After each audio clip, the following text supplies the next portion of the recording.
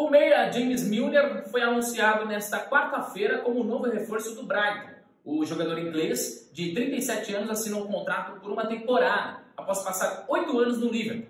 Além disso, o clube também apresentou o atacante brasileiro João Pedro, ex-fluminense, até 2028.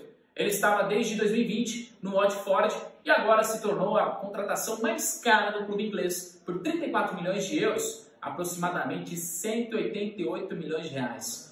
É muita grana, né?